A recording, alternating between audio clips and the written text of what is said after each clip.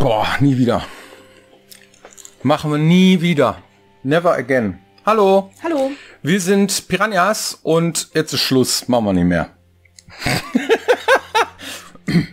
Was? Was steht da? Okay, also kann jeder. Äh, schlechte Erfahrung? Nein, kennt jeder. Mein Gott, was schreibe ich denn da für ein Blödsinn? Und dann pfeffere ich das Ding in die Ecke. Nie wieder. So, darum geht's hier. Never again. Wir sind zwei Piranhas, wir sind Entwickler, machen Computerspiele. Mhm. Und wir beleuchten das Verhalten von Spielerinnen und äh, uns selber beim Entwickeln, ja, äh, wie wir Spiele machen und wie wir den ganzen Krempel ähm, genau zusammendengeln. Und da gibt's halt auch mal manchmal so Sachen, wo man sagt, das ist jetzt Schluss, ne? Man hat keinen Bock mehr. Oder? Oder nicht? Doch. Ist ja schon mal vorgekommen, ne? Ja. Deswegen haben wir weniger als 100 Leute gefragt, schlechte Games-Erfahrungen gemacht. Welche Art von Spiele fasst du nie wieder an? Und die haben Folgendes gesagt. Ja, wenn Horror-Games, die ähm, drauf aus sind, wirklich ähm, mit den Urängsten zu spielen.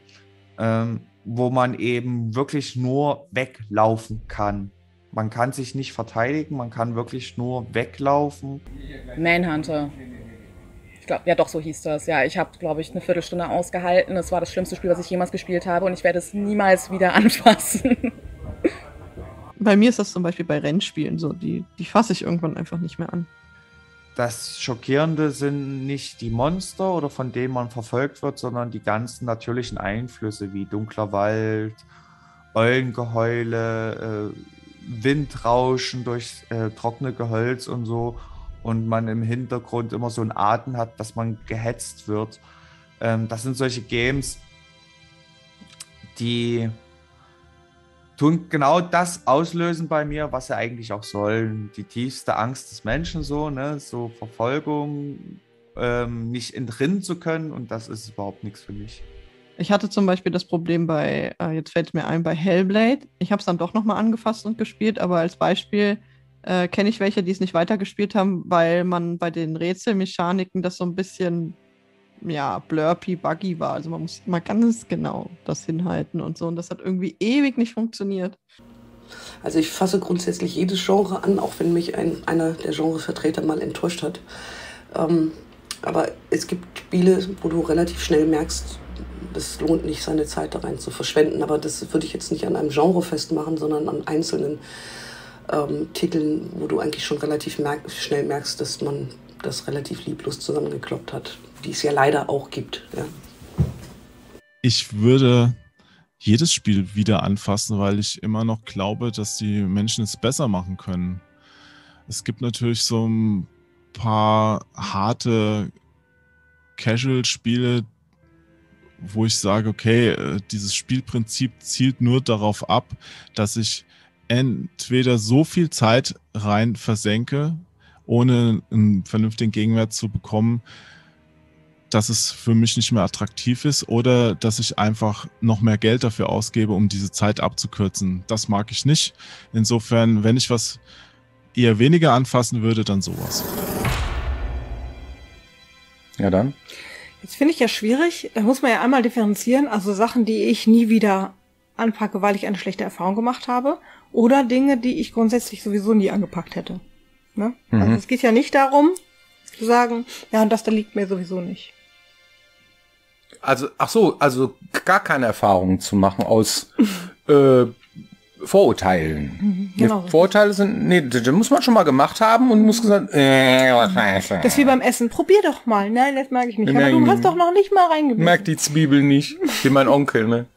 Muss man ihm die reinpürieren und dann ist das trotzdem so. So ist das lecker. Ja, wir haben auch die Zwiebeln püriert, damit du das nicht gemerkt hast. Oh, das ist aber schon hart. das ist schon. Ja, hat meine Oma gemacht, ja. Ja. Ja, ähm. Ja. Aber wenn ich, äh, also ich habe auch schon schlechte Erfahrungen gemacht mit Spielen, wo ich dann gesagt habe, das spiele ich nie wieder. Ja? Was hast du denn zum Beispiel gespielt? Und dieses Mikro. es tut mir auch wirklich leid, aber FIFA. Oh, ja, ach ja, ich verstehe. nee, da- das kann man auch mit Jenny nicht spielen. Hat man schon mal beleuchtet, ja. Das ist halt, die Püppchen, zumindest damals war das so, Mhm. 2018 oder so, wann wir das gespielt haben, ne? so in die Ecke, ne? Mhm. Ja. Mittlerweile haben wir so ein bisschen, sind wir ein bisschen Fußball verdrossen aus diversen Gründen und ist halt irgendwie nicht so auf unserem Zettel und unser Bekanntenkreis ist auch nicht so fußballmäßig drauf. Mittlerweile war mal, war mal anders, ja. Und äh, dann ist das so, dass wir ähm, FIFA gespielt haben und ähm, naja, ich mache VfL Bochum und sie macht FC Schalke 04. Da war der Manuel Neuer noch im Tor. Ich weiß nicht, ob der 2018 war, wahrscheinlich eine alte Version gespielt, ja. Ähm, und dann hat die so eine Latenz, das Püppchen. Und dann will sie abschlagen. Und vorher hat sie irgendwie aufs Tor gespielt und hin und her. Da dreht sich Manuel Neuer um und schießt das Ding ins eigene Tor. Klatsch. Das war nicht Manuel. Nee, war der nicht. Wer war denn das? Das war ein Witz. So. ja, das war deine Freundin, ne? Genau. Mein Gott. Ey, das ist doch. Also wirklich, ich habe das gesehen und habe gedacht, das wird mir nie passieren. Mir ist es auch mal passiert. Das ist total indirekt. Ja. Also wenn du mal da irgendwie der Figur sagst, was sie machen soll, irgendwie, sie macht es halt nicht sofort, Nein. sondern du gibst ihr einen Befehl und dann führt die Figur den Befehl aus. Und wenn du dann irgendwie zu schnell bist oder anders denkst, dass das Spiel anders funktioniert, dann macht die Figur irgendwas und du kommst überhaupt nicht hin. Also das ist ganz furchtbar. Das ist überhaupt gar nicht mein Spiel. Und ähm, und das macht mich nur wütend. Alle machen sich dann über mich lustig irgendwie und lachen sich tot irgendwie und ich Och. bin dann am Verlieren und hab voll die Wut. Nee, das geht gar nicht. Weil es ein kompetitives Spiel ist, macht das schon Sinn, das Ding zu beherrschen. Ja, ich kann es auch nicht. Aber es ist halt so, wenn man gegeneinander spielt, will man dann doch gewinnen und dann kommt der Ehrgeiz und dann funktioniert die Kacke nicht und man müsste das eigentlich studieren, man muss das wirklich üben. Und wenn man das drauf hat, dann ist man auch, das kann man skillen, ne? Absolut, das ist super. Das hast auch richtig dieses Fußballfeeling und so, das Spiel ist klasse. Aber man muss sich damit wirklich rumquälen und ja, das ist, das ist richtig, da gebe ich dir recht, nie wieder. Ähnliches ähm, geht mir so oder ging mir in der Vergangenheit häufig so mit Rennspielen. Mhm. Also vielleicht liegt sie auch an meiner eigenen Frustrationstoleranzgrenze, aber wenn so ein Rennspiel so gemacht, das ist ganz häufig der Fall gewesen. Du hast irgendwie so ein Auto. Das Auto ist erstmal so halb gut und dann übst du und übst und übst. Und dann hast du irgendwann diese, diesen, diesen Zeitpunkt, wo du dann so Erster bist und denkst so, boah, total geil, ich bin Erster, mein Gott, ich habe alle hinter mir gelassen, ich habe alle hinter mir gelassen, ich sehe das Ziel, ich sehe das Ziel. Und kurz vorm Ziel macht das Spiel dann irgendwas komisches, zum Beispiel irgendwie, dass, dass dich einer äh, irgendwie ähm, schubst, irgendwie, du landest gegen die Wand und alle überholen dich und du bist letzter. Das heißt, du hast drei Runden geführt und kurz vor Schluss bist du dann letzter. Da, da kriege ich auch so die Wut. Tja, Souls-like-Spiele ist bei mir genau das gleiche. Du bist tot, du bist tot, du bist gestorben, du bist gestorben, you are dead, you are dead. Ist nicht so meins. Es tut mir auch wirklich leid. Ich weiß, die Spiele sind super, aber ich mag das nicht.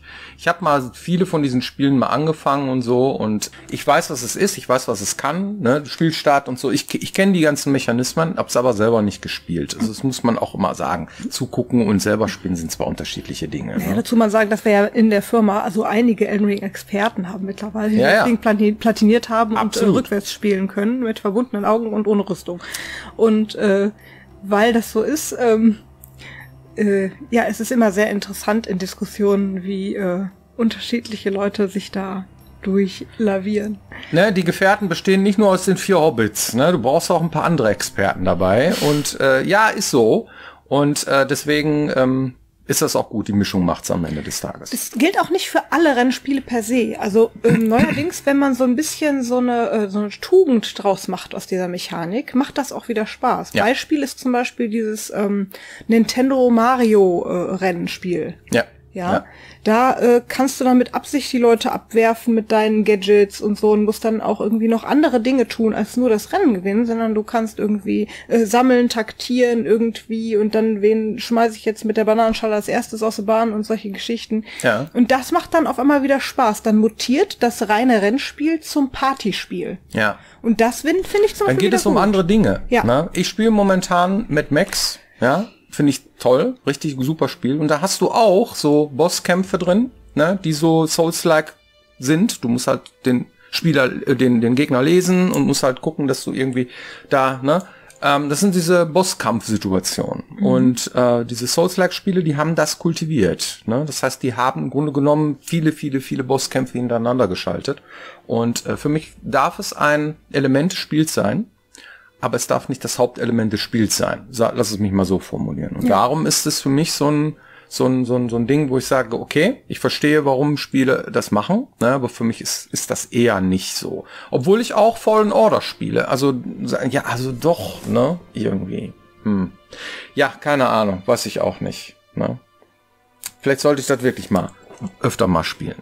So, nie wieder. Schockierendes Erlebnis gibt schockierende Erlebnisse, warum man sagt nie wieder. Unbedingt, ja. Ja, hatten wir schon mal Shocking Situations oder so, haben ja. wir eine Sendung gemacht hier, ne, haben wir darüber referiert. Ja. Könnt ihr euch angucken, klar, ne, wenn irgendwer stirbt, wo man sagt, pff, jetzt will ich nicht weiterspielen, finde ich doof. Mhm. Oder wenn irgendwie, keine Ahnung, wenn es zu gruselig ist oder mhm. man äh, eine Spinnenphobie hat oder ich was, was ich was, ne, ich habe eine so, ne würde jetzt nicht dazu führen, so schlimm ist es bei mir nicht, dass ich äh, aufhöre zu spielen, wenn, wenn mich Spinnen angreifen. Aber ich fand es schon ziemlich krass, ja, in Skyrim, in diese Höhlen, in VR, wo diese fette Spinne da ist, ja, ist ziemlich am Anfang und so, und da ist irgend so ein Typ da im Spinnennetz, hilf mir, weißt du, dann sitze stehe ich da mit meinem Pfeil und Bogen, denk mir, okay, aber ich hab's dann trotzdem gemacht, irgendwie so mit Augen zu und geschossen, habe ich dann noch geschafft, weil die erste Spinne geht noch.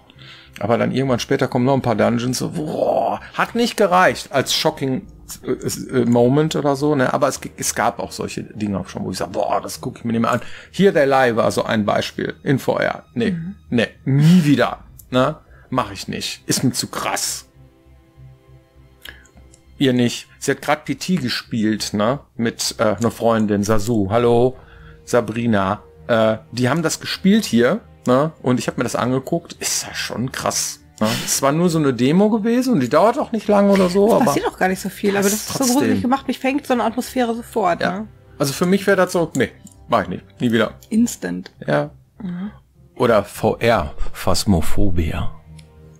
Da stehst du dann im Raum, weißt du? Und wartest dann mit deiner Fotokamera, dass der Geist erscheint. Also was Bekloppteres kann ich mir kaum vorstellen. Irgendwie, es gibt ja, ja auch so ein paar neue Derivate. Was weiß ich, es gibt dieses Go Ghost Exiles Inc. oder oder Ghost Expeditions oder keine Ahnung.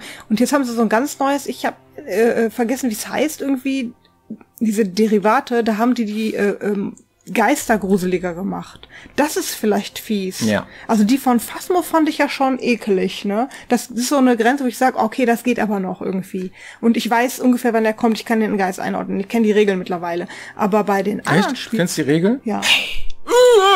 Und du stehst da mitten im Raum? Nee. Nein, es hat keine Regeln, das Ding. Doch, hat es. Also Furchtbar. es tötet mich nicht sofort, ich weiß nicht. oh aber... Gott es gibt jetzt diese, diese wo, wo du wo du es eben nicht weißt irgendwie und wo die dann wirklich so aussehen. Also es gibt ja unterschiedliche Arten von Dingen, wovor Menschen Angst haben. Es gibt irgendwie, wenn du so ein riesiges Monster hast, irgendwie das überstark ist und ekelig aussieht, davor haben manche Leute Angst. Mhm. Bei mir triggert eher sowas irgendwie das kleine Mädchen mit den langen schwarzen Haaren, wo du das Gesicht nicht siehst. Das triggert mich viel mehr. Wie bei The Ring, ne? Als, ja, mhm. furchtbar. Also das, das, da habe ich viel mehr Angst vor, vor ja? sowas. Also ja. so ein Quatsch eigentlich, mhm. ne? Ja? Ähm, also wenn irgendwie so Haare aus der Wand kommen, dann hast du mich da liegen. Wenn da irgendwie so ein, so ein Hulk angelaufen kommt, dann denke ich, ach komm, geht noch. Ja, was ist, was ist Horror, ne? Ist Horror jetzt äh, Genre oder Setting? Meistens beides ein bisschen, ne? Mhm. Und äh, ja, kann man auch sagen, nie wieder, aber nee, dafür ist es zu interessant. Es ne? soll jetzt auch ein neues Outlast geben. Oh. Mhm. Okay. Das werde ich auch nicht spielen. Aber angucken werde ich spielen ja, Setting, Genre, gibt's eigentlich nix. Ne? Auch Strategiespiele spiele ich auch ab und zu mal. Ne? Also sowas wie nie wieder, packe ich nie wieder an, würde ich niemals sagen, weil es gibt immer irgendwas ne?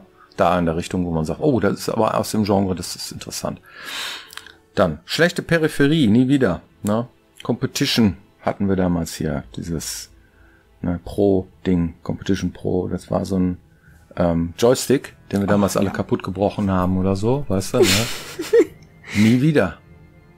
Joystick ist scheiße. Ne? Das heißt, ein Spiel mit einem Joystick zu spielen, auch ein Flugsimulator. Ne? Mittlerweile sind die Thumbsticks viel cooler, so auch sowas wie Descent oder irgendwie ein Flugsimulator oder so spiele ich lieber mit dem äh, mit dem Gamepad als mit dem Erstmal also Reaktionszeit ist auch irgendwie mal ein Faktor, gerade bei so Descent-Spielen oder Overload, was ja so ein Derivat davon ist, ne, würde ich nicht mehr machen. Ich würde nicht mehr mit dem, mit dem Joystick spielen. Man neigt aber auch immer dazu, irgendwie äh, so brutal damit umzugehen. Also es ging ja eigentlich gar nicht weiter rechts. Und trotzdem hat man den versucht, immer noch, noch mehr nach rechts zu kriegen irgendwie. Äh, das schon. Ja, das ist so wie wenn man ein 3D-Spiel spielt und dann versucht, um die Ecke zu gucken. Ne? Das kennen wir auch, ja. Ja. Schlechte Multiplayer-Erfahrung, nie wieder Multiplayer. Kann ich so auch nicht sagen, aber Counter-Strike spiele ich nie wieder. Das weiß ich. Na? Gab ja auch irgendwelche Cheater oder so, weißt du, ne, die irgendwie die Knarre im Boden hatten, sich gedreht haben und dann waren alle tot im Level und so. Aber davon rede ich noch nicht mal sondern ich war einfach zu schlecht. Ich konnte das eine von dem anderen irgendwann nicht mehr unterscheiden. Ob einer cheatet oder ob ja, er Skill ich, hat oder ich was? Ich konnte, eine Zeit lang war ich gar nicht so schlecht in dem Spiel. Ja. Und irgendwann, dann war ich ständig instant tot. Ja. Also habe ich entweder auf den falschen Servern gezockt oder ich, ich weiß es nicht. Also auf jeden Fall hatte ich dann auch keine Lust mehr. Dann habe ich aufgehört. Ja, wir sind schon mehr so Märchenleute, ich merke das schon. Ne? Es gab aber damals Unreal Tournament, das habe ich sehr viel lieber gespielt. Da konnte man, hatte man auch so Gadgets wie besonders hoch springen können und solche Sachen. Es war dann nicht ganz so realistisches Kriegsszenario, hm. sondern eher so ein bisschen äh, mehr Science Klamauk Fiction. Und, und Science Fiction, ja. Das, ja. Das, das fand ich ganz cool. Ja. Ja, gut, okay. Aber Multiplayer an sich doch, ne? Wenn Sinn macht. Vor allem in VR fanden wir super. Wir haben so ein Tower Defense Spiel gespielt, hier in so einem Lasertech-Laden. Mhm. Super. Na, kann, kann ich nur jedem empfehlen. Schon. Das ist wirklich super. Ja, ja schlechte VR-Erfahrung, hatte ich gerade gesagt, hier der Delay. Also wenn es zu gruselig wird, spiele ich nicht mehr, finde ich zu krass. Ne? Das heißt sowas, ich weiß nicht, wie Amadeus äh, es geschafft hat, ähm, Resident Evil 7 durchzuspielen auf VR. Ist doch irre. Ja. Es gibt auch tatsächlich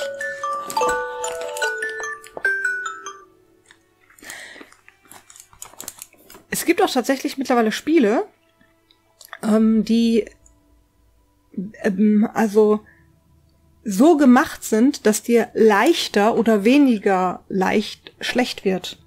Ja. Ja. Also ja, da ja. gibt's wirklich große Unterschiede. Es hängt vom Spiel ab. Mhm. Ja. Ob das ist gut, gut supportet oder nicht, ne? Oder ob es dafür gemacht ist oder nicht. Ja. Ich habe vorhin nämlich Spiele gespielt, ja, die nicht dafür gemacht sind. Fand ich aber trotzdem gut, ne? Hab mich durchgequält. Als hat man schon so ein bisschen dieses Motion Sickness gehabt, so, ne? Aber egal. Ich habe mich da durchgequält, aber das stimmt, das ist wirklich ein großer Unterschied. Ja. Super viele gute Sachen tatsächlich ja. von Half-Life Alyx gehört, mhm. äh, weil ja. dieses Spiel einfach genau dafür gemacht ist, was es sein soll. Ich habe es auch gespielt, das ist super. Alles, was was ähm, VR kann. Also zum Beispiel, dass du einfach alles anfassen kannst und dass das irgendwie, dass es gruselig sein kann, dass du irgendwie mit deiner Umwelt interagierst, dass der immer daran denkt, dass du halt aus deinem eigenen Kopf guckst, irgendwie kann dieses Spiel. Und das macht es natürlich auch besonders gut unter den Feuerspielen. Absolut. Mhm. Ja, schlechte Convention. Gibt's eine Convention, die du nie wieder, du sagst, nee, nie wieder. Horror Convention oder so? Nee, eigentlich. Puh. Oder schlechte Konzerte oder sowas, oder sagst du, äh, nie wieder. Nee, ne? Eigentlich nicht. Auch nicht, ne? Das nee. ist auch so. Never Again ist schon sehr, sehr. Hm. Klar, äh, gibt hm. es vereinzelte Sachen, wo du sagst, das Preis-Leistungs-Verhältnis stimmt nicht, ja? ja. Das, das, das, das gibt's schon, wo ich sage, oh, das ist aber eigentlich zu teuer für das, was dort geboten wird oder was weiß ich. Aber so grundsätzlich ähm, würde ich das dann auf einzelne Dinge festmachen, aber nicht das Big Picture in Frage stellen. Ja, also so so geht's mir da eher. Ne? Ich, ich muss zum Beispiel, wir haben zum Beispiel ein paar Arbeitskollegen, die würden unwahrscheinlich gerne mal auf die Tokyo Game Show gehen, mhm. weil die einfach ähm, naja, was Besonderes sein soll, diese Tokyo Game Show, habe ich mir in vielerlei Hinsicht sagen lassen und ich denk so, Och ja, muss ich aber nicht hin. Warum nicht? Weil ich nicht neugierig wäre. Doch neugierig wäre ich schon, aber ich habe, äh, ich scheue die Reise. Hm. Ja, das ist nämlich weit, sehr ja. weit weg. Und wenn ich jetzt müsste, würde ich es machen und wahrscheinlich würde es mir dann noch total gut gefallen. Aber da würde ich sagen, ach, dann lasse ich den anderen noch den Vortritt. Ja, ja. so ungefähr äh, würde ich es ähm, sagen. Aber wenn ähm, wenn sowas erreichbar ist, also in, neugierig genug für irgendwas Neues bin ich grundsätzlich immer. Gut. Ja, äh, never again. Wir sagen niemals nie, würde ich sagen. Zu gar nichts eigentlich, ne? was mit Games zu tun hat. Oder mit Settings oder mit Titeln oder sonst was. Weil, ja, man weiß nicht. Man ne? weiß Ab ja und nie. zu, alles hat seine Zeit, würde ich mal sagen. So, ne? Okay. Hast du eine Community-Frage? Bestimmt. Denkt ihr oder wisst ihr, dass es noch Easter Eggs äh, in hier jetzt in dem Fall in den Gothic-Spielen gibt, die niemand entdeckt hat? Ich kann es mir nicht vorstellen, ehrlich gesagt. Also ich glaube, wir haben überhaupt gar kein Spiel gemacht, wo die Spieler nicht alles entdecken. Ja, die Spieler finden alles. Die interessante Frage ist nur, ähm, ist es äh, es wert, geteilt zu werden oder ähm, gepostet zu werden oder mitgeteilt zu werden? Das heißt also, wenn man eine Recherche macht, ja, wenn sich jetzt eine Spielerin sich da hinsetzt und sagt irgendwie so, ich möchte das gerne mal rausfinden, ob ich alle Sachen irgendwie durch Recherche rausfinde, da kann es sein, dass man da nicht fündig wird, dass einige Sachen übersehen werden, aber trotzdem von den Spielern gefunden worden sind, nur nicht gemeldet. Das glaube ich. Ja. So, ja. Das heißt, wenn es einer meldet und sagt, guck mal, ich habe ja was ganz Neues gefunden, findet sich garantiert immer noch ein, der sagt, ach, das kenne ich doch, das ist doch hier und so, ja, ja, das habe ich schon gesehen. Ne? Mhm. Also glaube ich nicht. Ja, wir waren auch nicht ganz so wahnsinnig wie jetzt hier zum Beispiel, es gab dieses GTA 5 Rätsel äh, auf dem Mountain, irgendwie, wo die dann monatelang sich einen Spaß draus gemacht haben, dass irgendwelche Leute irgendwie versucht haben, diese Rätsel zu finden. Es gibt ein Resident Evil Teil, das war Resident Evil Biohazard. Und für dieses Spiel gab es eine Demo. Und in der Demo gab es das Fingerrätsel. Ohne Scheiß. Guckt euch mal bitte von der GameStar, der Michi Obermeier erzählt hat, die Lösung an vom Fingerrätsel von äh, Resident Evil Biohazard. Und dann lass uns noch mal treffen und dieselbe Frage noch mal beleuchten. Das ist echt großartig. Ich habe mir bestimmt schon sechsmal angeguckt. Ja. Ihr kriegt alles raus. Das ist die Antwort. Okay. Hoffentlich äh, beantwortet das die Frage. Das tut sie wohl. Und äh, wir sehen uns nächste Woche wieder hier, wenn es heißt Piranha Becken TV. Macht's gut. Bis dann.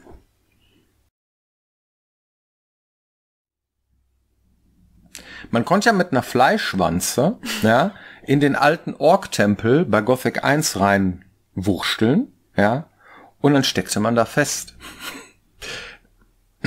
Weil man nicht wieder rauskam. Oh, das ist ja echt hart. Ja, das ist eine ganz schön miese Nummer. Ich glaube, das haben wir auch nie wirklich in den Griff gekriegt. ne? Weil man mit der Fleischwanze einfach alles machen konnte. Ne? Ja, ist auch so ein Easter Egg. Vielleicht. Ja, ist eigentlich so ein, ist ein Bug, ist ein Glitch. Ne? Plotkiller. Plot, Plotkiller, ja.